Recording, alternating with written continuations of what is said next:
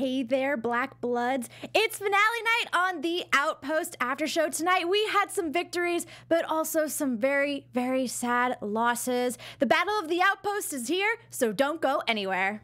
You're tuned in to AfterBuzz TV, the ESPN of TV talk. Now, let the buzz begin.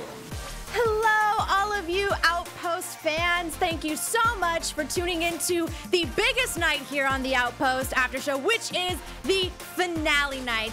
As always, I'm Veronica Valencia, and I'm so happy that you have stuck with me through this entire journey. We made it to the end.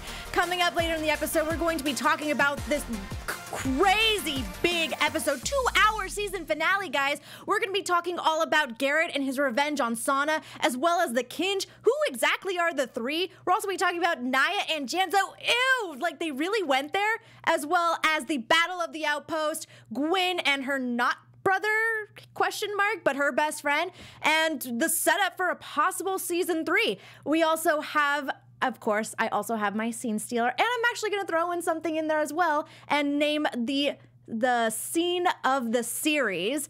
And i actually have another special segment for you. I have some very very i have a special video with some kind words from some awesome people on the show. But before we get into any of that guys crazy, crazy big episode. Like I said, two hour season finale. Like there's so much to unload here. I honestly feel like my brain is gonna explode because I had to really just figure out how I was going to break down this episode because there's so much going on. Honestly, I hope I remember everything. Uh, but you know, but overall, really solid, strong season finale. The twists were out of nowhere, and you know, this show I've come to realize is not a show that uh, shies away from serious storylines. Serious storylines in the sense that they're not afraid to, you know, kill off characters. A lot of the time, series are you know, kind of scared to take risks like that, but this series does that. And so I was very content with a lot of the twists, a lot of the turns. I thought it was a solid episode, guys. Really, really solid. And uh, uh, that season finale, you know, I was rooting for the Black Blood, so I don't know what's going to happen now.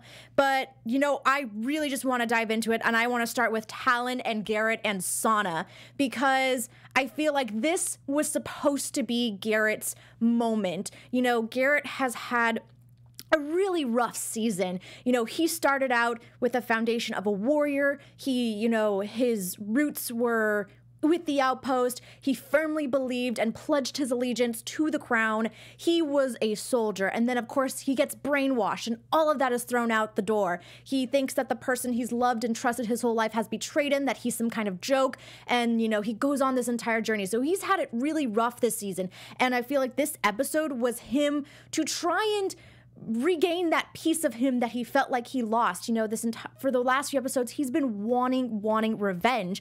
And of course, Talon and maybe even some audience members, I know I was, I was like, dude, I don't think that that's gonna help you much. Like, what you did is what you did, and sadly, it's kind of something that you're going to have to live with. It's something that's gonna eat you up inside. Like the fact that he killed his dad.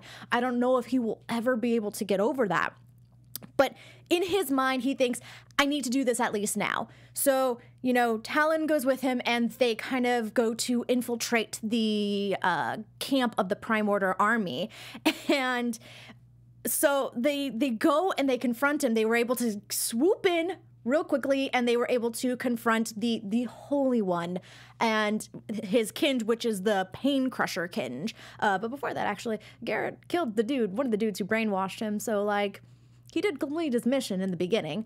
Um, but yeah, this part, I have to be completely honest, this part I felt slightly underwhelmed because there has been so much hype around the three. They're supposed to be these like fantasy myths of pure power. They all have kinjes, so we expect them to be super powerful you know they we assume that they're they were the hyped big villain so i kind of expected more of a battle i expected kind of more of a showdown but talon was able to go right up to the holy one and stab him and i was like there has to be something more to this you know all the hype that these guys got and he's able to go down that easily immediately I was like, there has to has to be something more to this. And of course there was. And so I kind of liked how, you know, killing the three isn't what was the important part of that storyline. It was, I guess, the Kinj and how Sana plays a part with the Kinj or just the Kinj in general.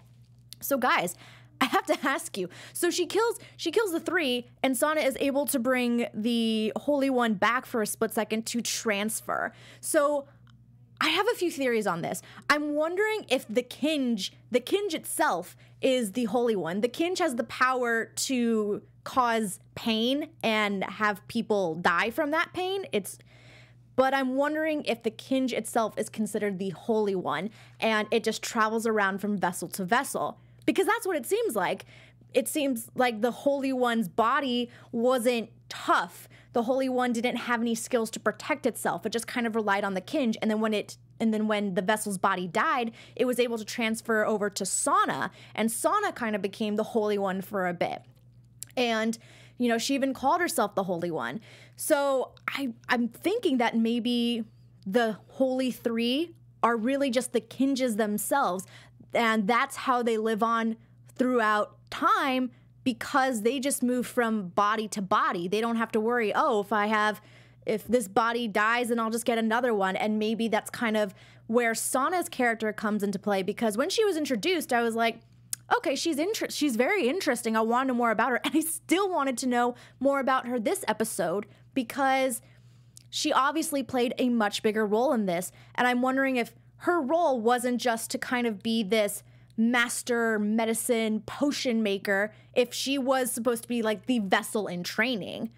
Because I feel like that's kind of the story, that's how it would happen. So the Holy One would live out their life and confide in someone and train someone to basically be their successor when the vessel's body that they're in uh, passes on and it's time for them to move. So maybe that's what Sana was. And to me, that would make a lot of sense with just how close she was, with how she was able immediately to know I have to revive him in order to transfer the Kinj.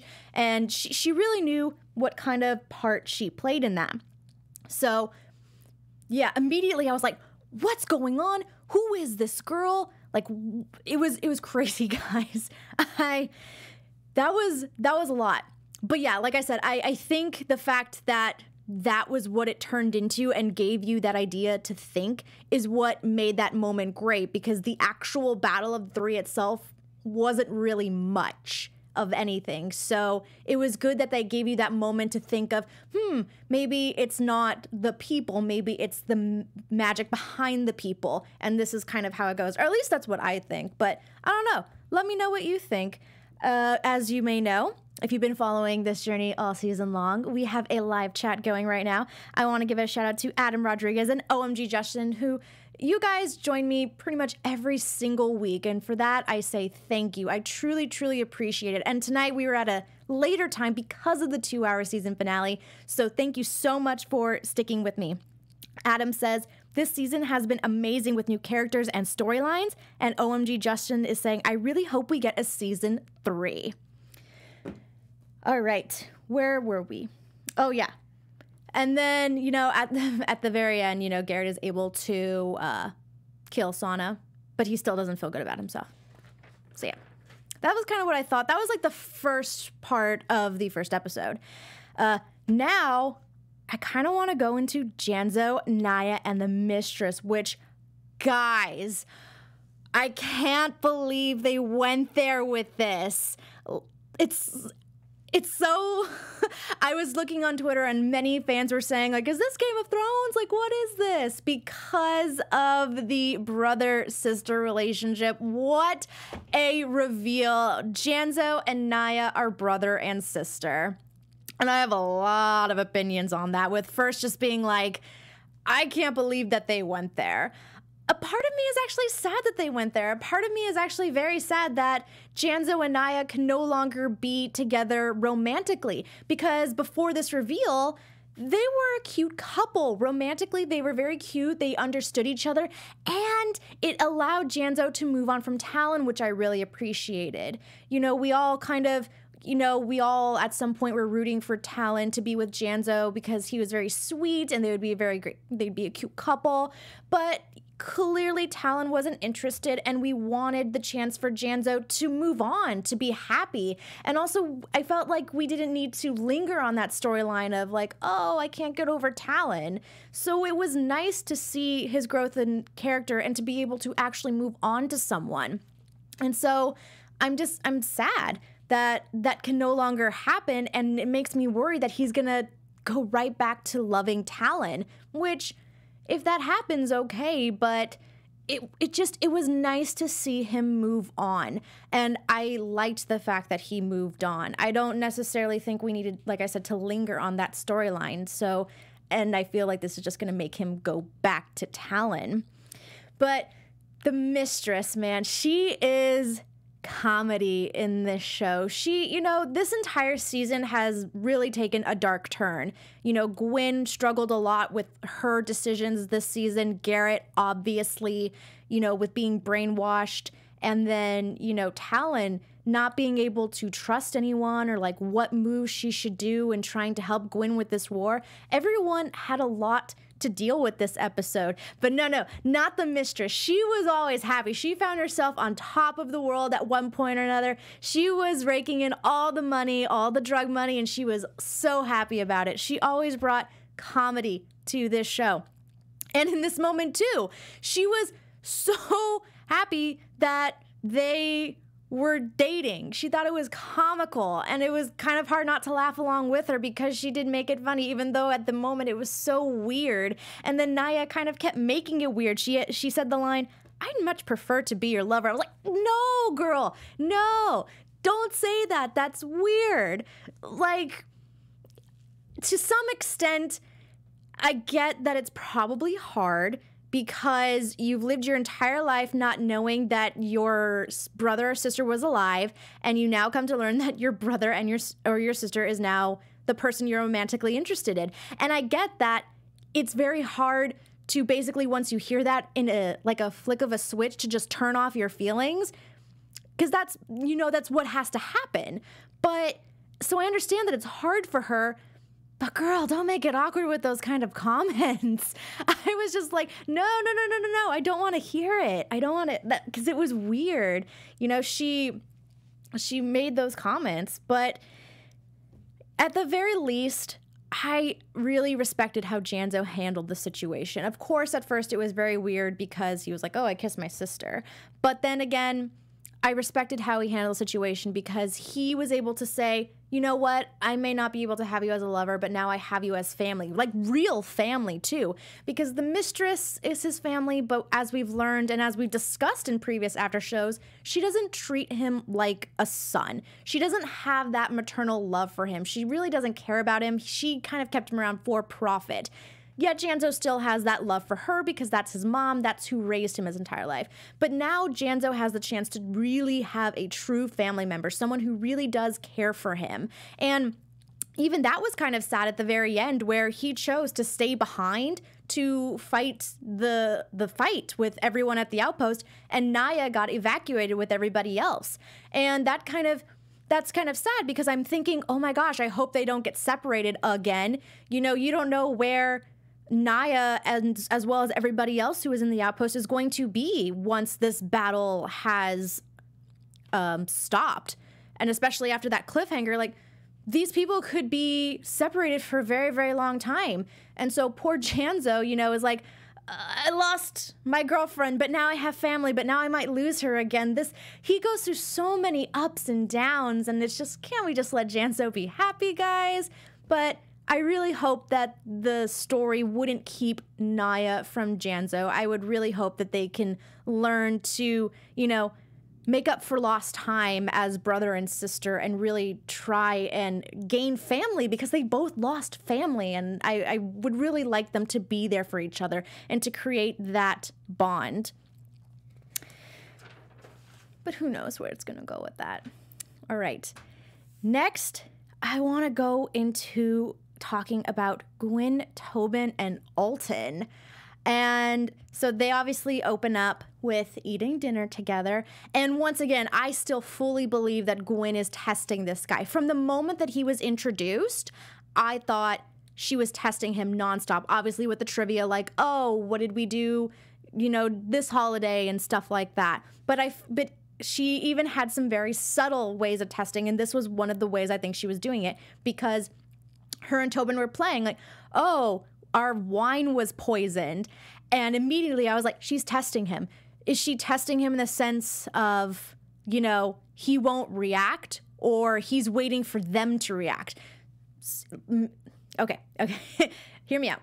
So I was thinking that, you know, in Gwynn's mind, maybe she's thinking this person who is potentially impersonating her brother wants to cause harm to Gwynn and Tobin.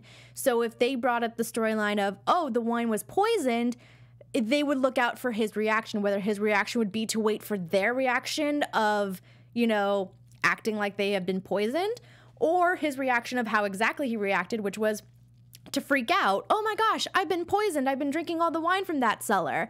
So, in that sense, she could clear the idea of, oh, he's at least not trying to hurt us.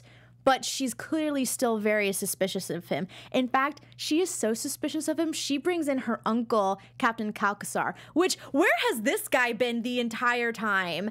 I'm actually kind of surprised that he wasn't brought in earlier because he seems like obviously he would be a really good ally. And towards the end of this conversation, he says he will join Gwynn's fight. So if he was if he's willing to join Gwynn's fight and he is a trusted ally, I'm actually very surprised that they didn't bring him in earlier unless you know a possible reason could be he was off far doing some kind of business and maybe she couldn't get in touch with him sooner. But I feel like the idea wasn't even brought up. The idea of Milas was brought up before bringing in her uncle, and the idea of this, what was his name? Bran, the guy that they wanted to bring in. Um, what's his Baron Fenway? I think was the guy, the other Baron. He was brought up to be an ally before Captain Calkussar.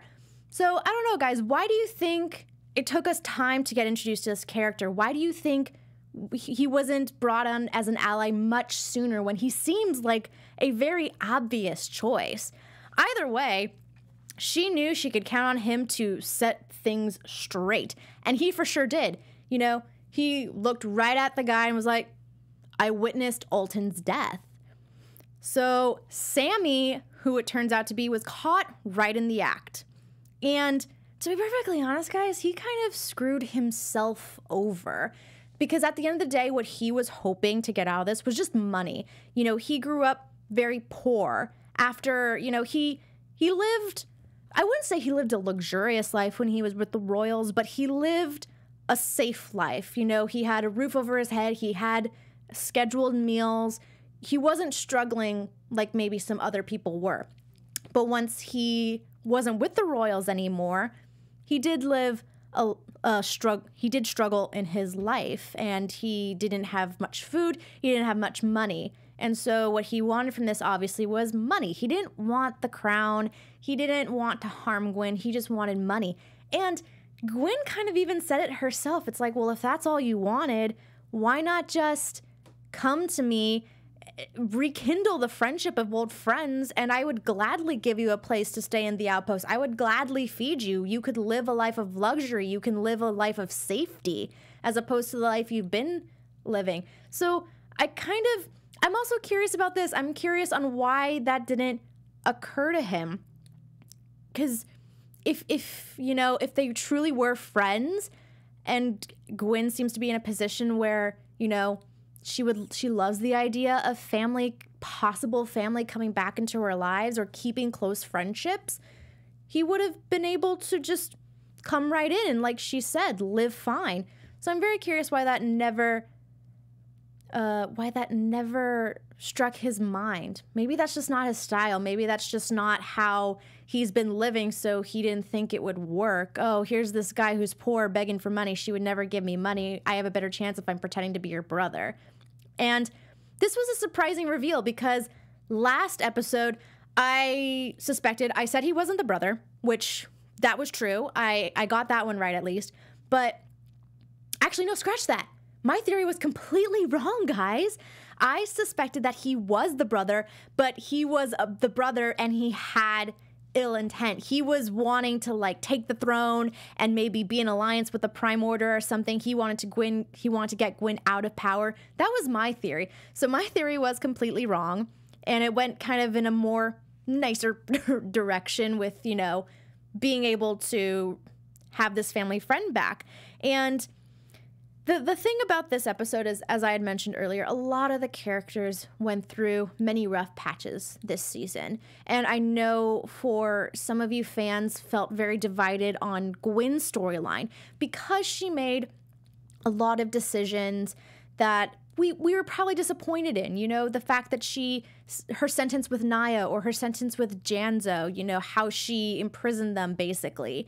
And it, this this kind of came to light in this episode because she realized she was thinking with her head instead of her heart. She was thinking of how a royal is supposed to rule. She was thinking of how maybe her father ruled. She was, you know, she she felt she had to be fair and just and that is just by the basic concept of how you should be ruling, not how she personally wants to rule. And in this particular situation, it makes sense. And I think everybody that she released has done something to show that they deserve to be released or to be pardoned, as we were talking about. You know, Naya came back and warned them of the weapon that the Prime Order had. Naya didn't have to do that. Naya knew her fate when she walked right back into the outpost. So why would she do that if not to genuinely warn them? I think that's a noble enough act to allow Naya to go free. Same thing with Janzo. Yeah, he might have let her go, but he has done so much for her. He has healed people. He has found the curse. He has found the cure for the plaguelings. He, you know, is coming up with strategies for them against the Prime Order. He also has done a lot for her, and I also think that's a good enough reason to not have to be imprisoned. So, you know, finally Gwynn sees all this and she's able to think with her heart and think, you want to know what? I'm my own kind of royal and I'm my own kind of leader, and I will make decisions that I think are right and not that I think I need to make because someone is expecting me to make them. And I think that was a really good shift in her character. It was nice to see that because I'm sure, you know, we can all sympathize with that in a sense. You know, there's sometimes this idea of we have to act a certain way because someone tells us we have to act that way, even though it's not how we want to act that way that happens in life. And so I think we really saw that with Gwynn this season. And I liked that we got to see this change in her. And I think we're going to start seeing her come into her own as her own kind of leader. And that's very exciting. And I'm I'm happy to see her make that journey and make that transformation with Tobin by her side because Garret gave them her blessing. Okay, guys. Okay, let's talk relationships because we actually haven't talked relationships in a while.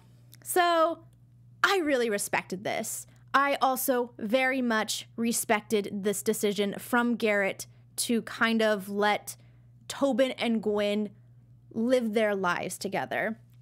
Because I made this I made this comment a few episodes ago. I said even if Garret does get his revenge, he will never be the same Garret. He acknowledged that this episode. He knows he's not going to be the same person.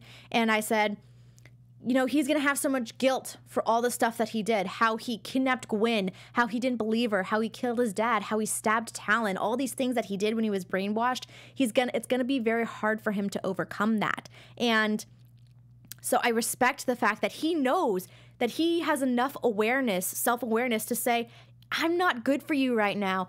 I need to work on myself essentially. And, he's going to allow Tobin and Gwynn to move on because we because we can probably tell that Gwynn is conflicted. She will always love Garret. She will always have a soft spot for Garret. And I'm sure every time that Tobin hears, "Oh, Commander Spears is back at the outpost," I'm sure he gets super insecure and worried because he knows Gwynn will always have a soft spot for Garret. So I really respect the fact that Garret said, "You know what, Gwynn?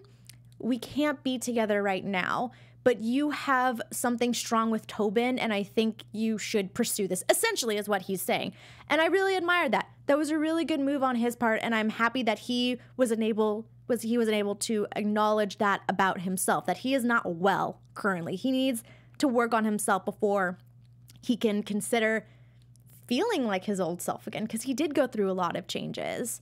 And you know, kind of going back to Gwynn saying, you know, she had a lot of ups and downs this season. So did Garret. And uh, once again, I know the fans were very divided on his storyline this season. And, you know, I understand that too because there were certain things that he did that disappointed me. But it's not necessarily his fault because he was brainwashed.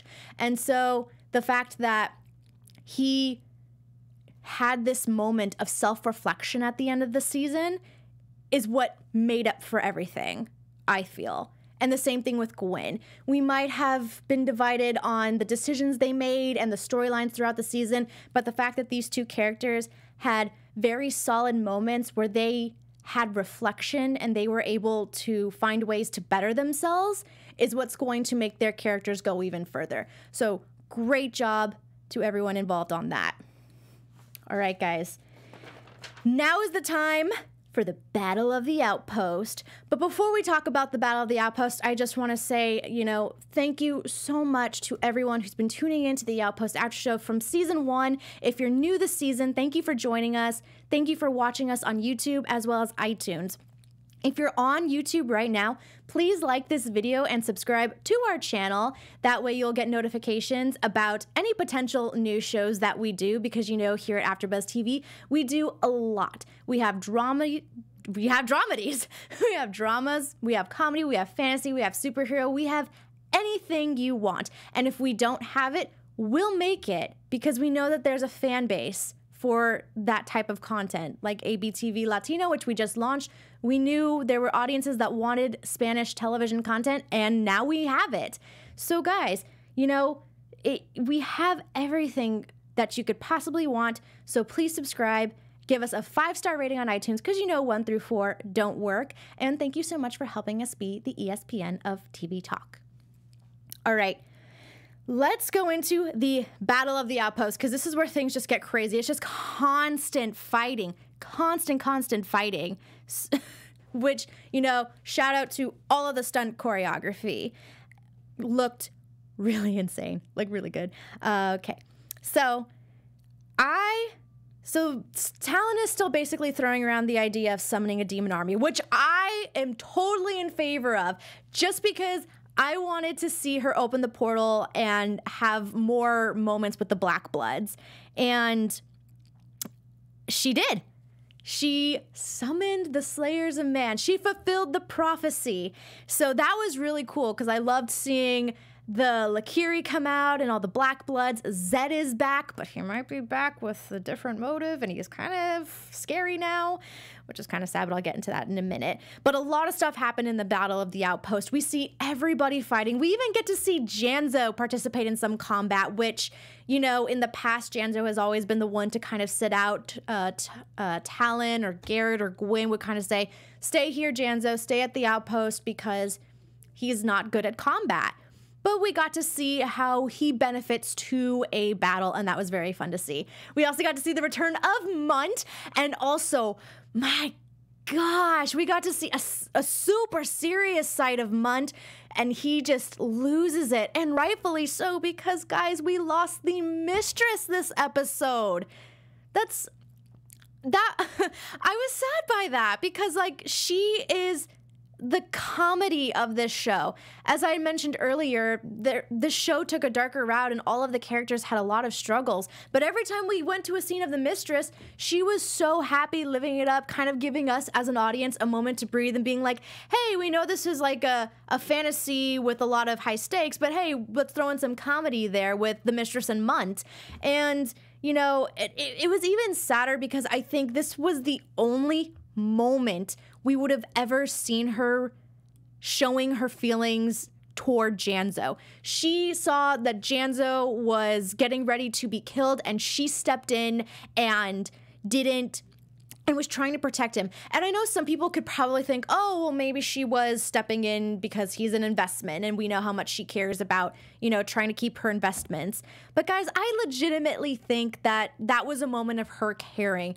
She saw her son was in trouble. She probably had never really seen that before and she wanted to protect him. And I think that's what made it even more devastating of losing this character with because it was in that last moment that we saw her being truly, truly genuine you know, she plays around a lot with Janzo's feeling, but feelings, but in that moment, I think she was being truly genuine, and that's what makes it more so devastating that she died. And like I said, this show doesn't shy away from killing main characters. Like sometimes shows will kill off characters, but it will be a minor character that, as an audience, it's like, mm, it's okay. I didn't really care about that character anyway, or mm, I won't miss them. But this season, they've killed off the Dragman, they've killed off the Marshal, and now they killed off the Mistress. So the stakes are obviously much higher this season, and they're not afraid to do stuff like that like most shows. So i really applaud you know the writers for taking those kind of risks because it's it's impressive you know not many people do that. So the good news is that they won the battle for now but then they have to go and fight the bigger army luckily janzo comes up with a great plan and they're able to succeed in that and then the very last thing is you know talon summons her army Garret detonates the bomb.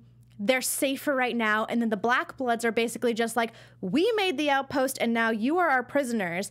And this disappointed me in good way. It disappointed me in the sense that I didn't want Zed to turn out to be the bad guy. I didn't want the Black Bloods to turn out to be the bad guy. I didn't want them to make them feel like Talon had to choose because that's what they're saying. You you have to choose. It's either them or us and it's like she says, why can't it be both? And Talon should be able to have both because that's how she's lived her life. She's never really lived life with the Black Bloods. She was taken in and loved and cared about by humans, but she knows she feels a comfort with the Black Bloods. She should be able to have a place in both worlds, and it's really sad that they are making her choose, and it leaves curiosity of how is she going to, you know, fix this because she is the person in the middle that if you think about it, she is she is not a half blood, she is full black blood, but she is a half blood in the sense that she needs to kind of unify these these two groups of people. And I'm very curious how she's going to do that. But yeah, I did not want the black bloods to end up the army. So, you know, the the season did a good job of wrapping up kind of the main threat which was the prime order but now we have the black bloods to worry about so there's some room there for season 3 guys Anyway, yeah, that was a lot. A lot happened these two episodes, and I'm so thankful for everyone who stuck around to, you know, discuss with me. I really appreciate it. Let me know all of your thoughts on this episode. You could leave a comment on YouTube or on iTunes or in the live chat right now if you are there. Adam Rodriguez just did that, saying, Talon told Zed she lost her family, but she found her new family and home at the outpost. It's true, but should he hold that against her? Should he should he feel like, "Oh, there's no way, you know, you could ever be one of us because you have a family and sympathize with humans?" I don't think so. I think everyone should just try and have peace. Just make peace, you know? It's a different time from when they were trapped, but you know, there's got to be conflict in a show, guys. but yeah, let me know all of your theories. Let me know what you think would happen if we got a season three. Let me know where you think this series is going to go. Let me know about all the twists that happened this season. I'm really curious to know what you guys thought. For right now, though, however, I want to go into our special segment. Oh, yeah. As always, our special segment is our Scene Stealer segment, and this is our last Scene Stealer for the season, and it definitely goes to the Mistress in my book. Don't get me wrong, guys. Every single character had a shining moment in this episode. They really did. But the Mistress, I think, she just went out with a bang. I really appreciated her last moment of showing genuine affection towards Janzo, and she's been a bright character the past two seasons. She has brought the comedy, as I've mentioned. You know, she's going to be missed. She was a fan favorite for sure. So she was my scene stealer for this season finale. However, I want to expand on this. She was my scene stealer for the finale, but I want to highlight someone, a character who stole the whole show. And I don't think you guys would disagree with me if I say it's the moment when Munt rode off on a donkey. He stole, this is the scene that stole the whole show all season. Honestly, like when I think of the Outpost season two, this is honestly kind of the thing that comes to mind just because it was it was so random. This big guy on a donkey just riding off. It's and people have turned this into a GIF on Twitter. It's it's really funny, guys. So uh, are you with me? Do you also think of this scene when you think of the outpost? What who were your scene stealers? Let me know. And do you have any particular moments that just stole the whole season for you? Let me know those too. I really appreciate it. All right. Now, we also Oh. And now we also have another little special segment for you. So, as I have mentioned, I'm so thankful to all of the fans who join me every single week to watch and engage with me on Twitter to talk about the outpost. I'm also very, very grateful that the cast also tunes in and they and some of the cast members had some very kind words to say on the season finale. So, let's take a look at that. Just not very. Oh, it's right behind me. Great. Hi, Veronica, and AfterBuzz, and everyone. oh, he's just my little friend over here, and uh, everyone else watching this. Uh, sorry I can't be there tonight. It was really fun. Just not really in the ideal place to video, really, am I? Um, sorry I can't be there tonight. It was really fun. Is that what we're saying? Yeah, it was really fun last year uh, doing the show and the finale episode with Jess, but yeah, I'm in Europe right at the minute, so that's that. Uh, big shout out to AfterBuzz and the entire team there for being so consistent and every single week recapping our and recapping our show every single week. Uh, really appreciate it, and uh, thanks to everyone for watching. And uh, fingers crossed, we will see you guys next year. And if not, this is really unfortunate ending. Bye. All right, you guys. Uh, that was the season finale of The Outpost. I just wanted to say thank you so much for staying with us the entire season. I know that Garret especially had some pretty crazy, interesting arcs this year. Um, and I love that you stuck it out, you stayed with it. And thank you so much to AfterBuzz for always covering it. Veronica, uh, I know you kind of held down the fort yourself this year, and we appreciate it so much. So thank you, everyone. Here's hoping for season three, and I hope you enjoyed the finale of season two of The Outpost. Aw. I want to give a special shout out to Jake and Anand for taking the time to send me in those videos. I truly appreciate it. And I know that the fans do too. It was just a little extra touch to add to this two hour season finale. So, yeah, guys. And I also want to give a shout out to Adam Rodriguez in the chat. I just want to say thank you so much for this in advance, Adam, who says, Thank you, Veronica, for being an amazing host. I can't wait to see you in the next season of The Outpost. You know, as I mentioned, guys, I wouldn't be able to do this if it wasn't for you. I do this because of you, because I know that you want to talk about this show. I want to talk about this show. I want to see the show grow just like you do. So thank you so much. And now I think I'll go into some predictions of what could happen. TV predictions. All right, guys. Honestly, the only thing that I think th- in, there's so much that they could probably happen, but really, what's on my mind right now that I think I would want to see as the story continues is I want to learn more about the Kinge. Obviously, I want to know if it's like the Kinge that is the actual being and like i said they just inhabit bodies of people. I definitely want to learn more about that and their magic.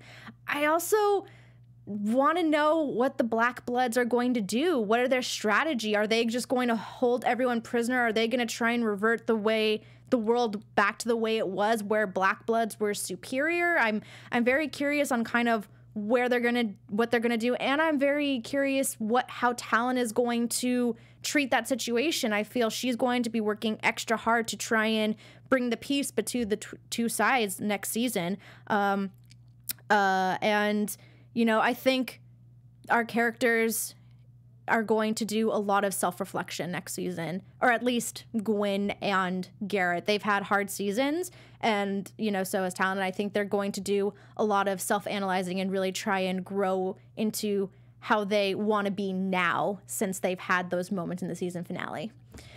And yeah, I think that's that's really all I got for right now. Uh, but let me know what you think how the storyline, how the story will continue. I'd love to hear it. But for right now, guys, that's all. We finished. That was the Outpost season two. Again, you know, thank you. I I sound like a broken record at this point, but seriously, guys, thank you so much for to the fans, to the cast and crew in the Outpost, to you know everyone that has joined me on the show for joining me on this journey. You know, I I took on the role of having to do this show myself, and it's because of you that I I was able to do it because you're always talking to me about this show. So I really truly thank you for sticking out with me to the very end.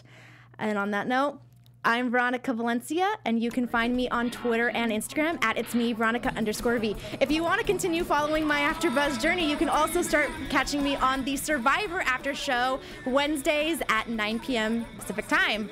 Again, thank you everyone so much for tuning in to the Outpost After Show for season two, and we'll see what happens with the possible season three. Bye, guys. Our founder, Keven Undergaro, and me, Maria Menounos, would like to thank you for tuning in to AfterBuzz TV. Remember, we're not just the first, we're the biggest in the world, and we're the only destination for all your favorite TV shows. Whatever you crave, we've got it. So go to AfterBuzzTV.com and check out our lineup. Buzz you later.